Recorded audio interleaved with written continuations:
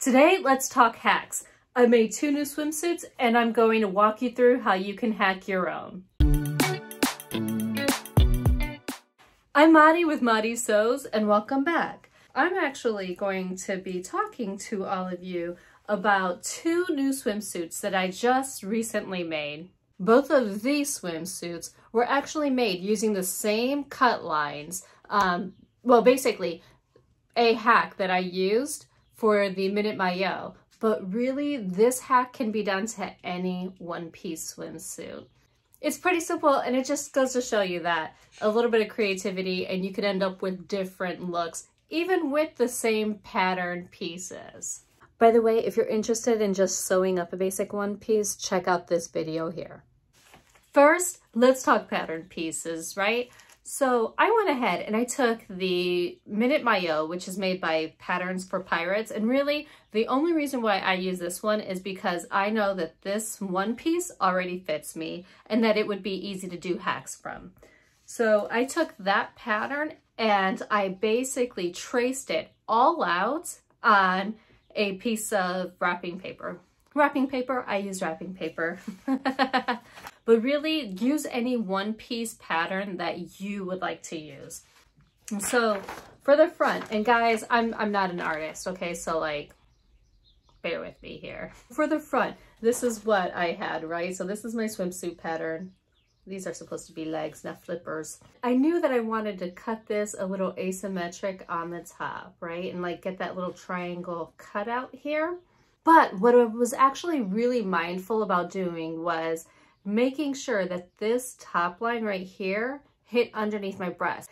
And so I wanted to make sure that I wasn't catching any under boob, like in the actual mesh area or in the twist area, right? So make sure that you have the coverage. I also knew that for the, for the zebra one, I wanted to use the shelf bra too to give myself a little support. But I didn't do that with this tropical one because it's really just kind of a bunch of different pieces. So I knew that I was going to add the shelf bra for additional support on the zebra one with the mesh, but not so much with the other. This piece right here is the piece that's really going to add the interest, right? But we have to make sure that when you cut that out, you're adding seam allowance to both this triangle piece, to the top piece, and to this bottom piece, because we're going to have to put elastic around all of those edges. So that's something to keep in mind. After you've got the one drawn up, I recommend that you go in and you draw the second. That's supposed to be my butt, you all. so, okay. Um, and you can see here that I actually mirrored this piece because I want these two pieces to really kind of hit each other. So let's see. So that way, when it's on your body, it's going to be identical. This is not to scale, but really what I did was I took that triangle piece from the front, I laid it over the back, matching up where it would have connected to the front and just trace that triangle right on there. Make sure, again, that you add your seam allowances. I like a 3 8 seam allowance to sew swimwear with, but you can use a quarter inch seam allowance too if you're totally comfortable doing that. Now you should have all of your pattern pieces. For the zebra and mesh one, you should have your top part, your bottom part, and the cutout triangle area, right? We're not going to use that pattern piece. We're just going to leave that off. And then you're also going to need the entire front and back pattern cut out in your mesh. And if you're going to use the shelf bra, make sure that that's all cut out. I like to line my shelf bras and my front pieces uh, swimsuits when I can with power mesh or power net um, to give me more of a smoothing effect. So for this one, I used a power mesh that I had picked up from Joann's. It's not as sturdy as some power nets out there, um, but I think it really does look cute in this swimsuit. Now for the back, I used a power net because the entire top portion here is just the mesh. You see that? And this black mesh right here just is not supportive enough. So for this swimsuit, I actually went through and just cut the entire back out in that power net, which is a skin tone colored. and you can see there what it looks like. There's the front that you can see that was cut out entirely of mesh.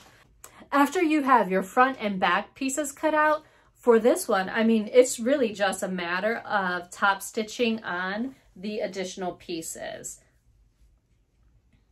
So you can see I top stitched on the black bottoms here using a zigzag stitch. I actually did the same thing at the top. Let's talk zigzag stitches here, um, especially with this top stitching because I was popping stitches all over the place. I mean, the minute I put this put this thing on, it was like pop, pop, pop, pop, pop. I was snap, crackling, popping all around the house. And when I went back and looked in the mirror, you can see where all of the top stitching had broken and my bathing suit was compromised, right? So that actually prompted me to go back to the sewing machine to fix it. Let's talk about what actually was going on there. When I originally sewed up these seams around the waist, they're smaller than my hips are, right? And so when I actually went to stretch this swimsuit over my hips, the there just wasn't enough give in the thread in this zigzag stitch. Okay, so originally I used this zigzag stitch that looked like this. It was three high and two long, right? But when it was stretched out, it just wasn't giving me enough. Well, it just wasn't stretching enough to be able to accommodate the amount that I needed it to move to get over my hips. So what I did was, and after a lot of different zigzag stitch testing. So what I ended up going with was this one, which was 5 by 1.8. And this one has the amount of give that I need in order to get the swimsuit on and off without threads popping. So if you're making a swimsuit, make sure that you're testing that zigzag stitch to ensure that it will actually just stretch the amount that you need to get over your body parts. I have larger hips, so that was my biggest concern. But if your biggest concern is around your bust or other areas, just test it around there to make sure that everything is going to fit without your stitches popping. After top stitching all of the pieces onto the mesh, I just went ahead and sewed it up like it was a regular one-piece swimsuit and it came together really quickly. By the way, the majority of this fabric I picked up from Joann's. This is a rayon jersey knit. It's 90% rayon, 10% spandex. Um, the mesh I also picked up from them. I'll be sure to try to link to them in the description box below if you're interested in them. The power net, I'm pretty certain I had picked up off of fabric.com. If I find something similar or if they still carry this, I'll link to that as well. Oh, and by the way, if you learned a thing or two, why not give me a thumbs up, subscribe, and click that bell so that way you know the next time that there's a new video. Now let's talk about this fun shaped one, shall we? This tropical swimsuit was actually made using some athletic knit that I had picked up from House of Mami Wata online. It's no longer available, guys. I'm sorry. I, I, ch I checked to see if I could get more of it, and it's just not available. But she does have other similar styles, so I'll link to her website in case you're interested in checking that out. So this swimsuit does use the same exact cut lines as the previous one. The biggest difference is, is that this one doesn't have any mesh that we're top stitching onto, right? I did use mesh inside the front part of the top here, and I lined it as well. So the mesh is sandwiched in between. I added elastic down at the very bottom here. It's black, but you can see it there. Here's the triangle pieces, and we'll get to this in a second.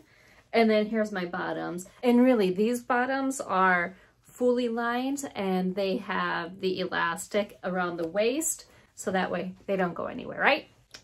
Because this athletic knit is much lighter, I did decide to put mesh throughout the entire bottom and the front piece here. Um, so that's something that I knew would be my preference, so I went ahead and did it.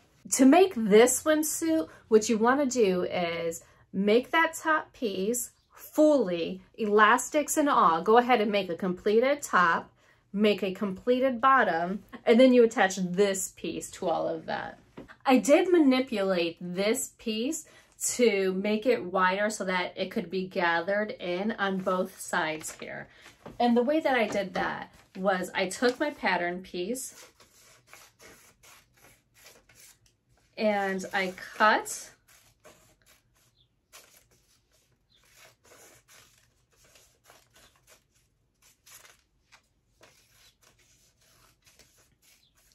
cut it into strips like this, making sure not to go through the other ends.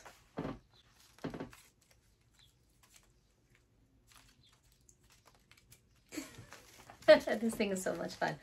After I had it taped to a piece of paper, what I went ahead and did was I started separating each of these pieces so that they were one inch apart. So I would measure one inch in between both of these and tape down the next piece. So after it's all taped down, this is what you have. You have your one inch pieces in between, right? So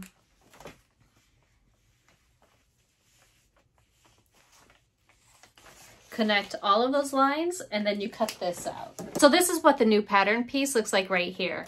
And let me tell you, in hindsight, I wish that I had separated each of these probably by an inch and a half or even two inches. So that way I had more gathers. So you decide the look that you want. Do you want it minimally gathered like this or do you want it heavily gathered like that? And adjust the width in between these accordingly. Now you need to do the same thing to this side because we're gathering both ends. So cut this one into strips. If you cut them evenly, that's even better. I would suggest drawing the lines on there, but here we go. It's now cut into strips on this end. And we're gonna do the same exact thing. We're going to tape it to paper and then we're gonna separate it. So that's what it looks like when it's all separated out on the smaller end. Now, cut it out, connect those lines and cut it out. This is what the new piece is going to look like for that center piece. And then really at this point, all you need to do is cut two of these out in fabric, sew them up at the two different edges, gather those edges, and then I attached a piece of elastic on both sides here just to kind of like stabilize those seams a bit. So now that you have your tube constructed, what you're going to want to do is attach some elastic. Now for this one, what I did was I measured the circumference of the tube and I cut elastic that was 20% shorter than the actual tube.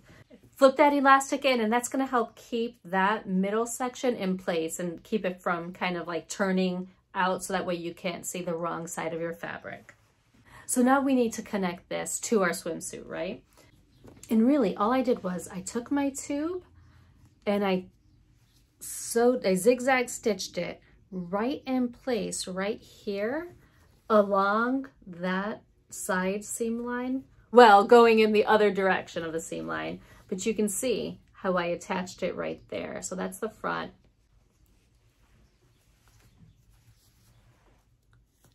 You can see I attached it right over onto that elastic right there. And I did that for both the tops and the bottom piece. I just attached it with a zigzag stitch. You just zigzag it, attach it, and you are ready to go. So that's how I actually made this swimsuit right here. And I hope that it wasn't confusing, being that I kind of talked you through the entire process. But if it was and you'd like to see a tutorial, just leave it in the comments below and let me know which one you'd like me to do. And I'll try to make that happen for you. If you're thinking about making a swimsuit yourself, sewing it up, I actually have an entire series that I've been doing and I'm going to follow this up with some tips and tricks. So make sure that you watch the playlist over here so that way you can follow my entire swimsuit making journey and pick up some good tips for yourself. And until next time, I hope that you find joy and have a wonderful day. Bye.